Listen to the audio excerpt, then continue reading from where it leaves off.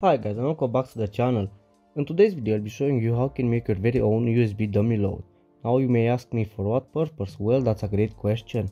This is a simple small device which was done to be used to test pretty much any device which has a USB output. The device will indicate the voltage state as well the current. This homemade device is an important tool when designing any type of USB charger or battery pack. With it you'll be able to check the stability of the charger or the battery pack plus it serves as a dummy load with a range from 0 to 5 amperes.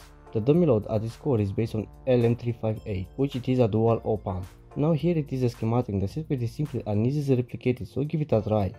Due to the nature of the circuit, it will be split in three main parts. How does it work? Well, let me explain it. The first comparator is the custom current source. On the first input pin, we have a resistor divider formed from two resistors.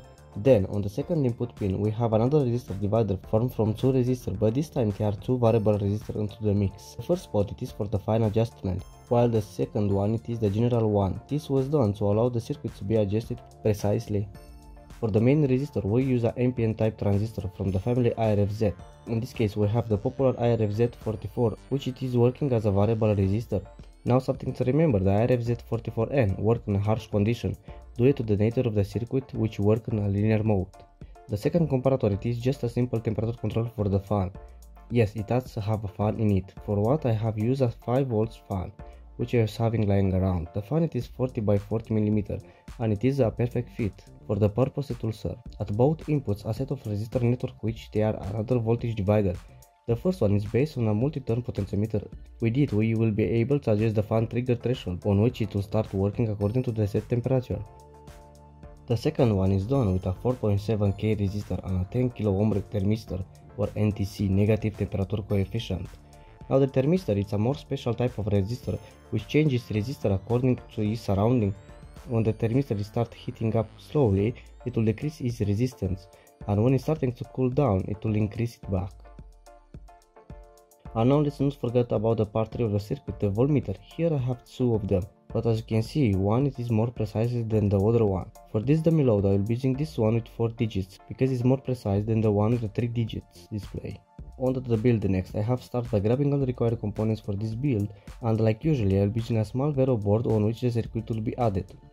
First we make the first part of the circuit, the custom current source. Now this time it seems that the solder I have used wasn't so great after all, was lead free solder, but anyway after some time the circuit was done and we can test it. And as you can see it's working as intended.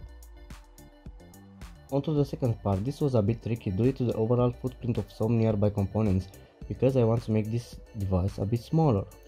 After the second part of the circuit was done and after some testing we can add the voltmeter slash ampermeter to it and here we have it, the board is done, let's test it.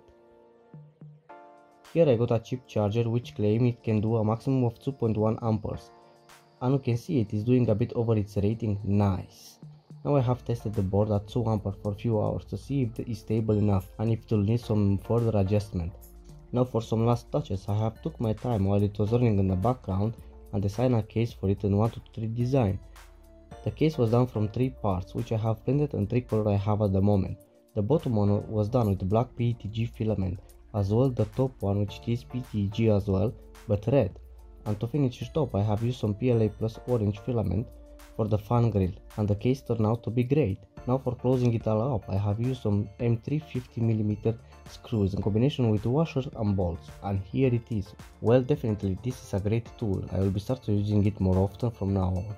Now this tool can stress test like I have said in the beginning any USB device Plus it can give you a great versatility when designing your own charger or battery bank. Now this video has come to an end. Details regarding this project can be found in the video description below. I hope I will see you all in the next video. Until then, have a nice day and thank you very much for watching. See ya.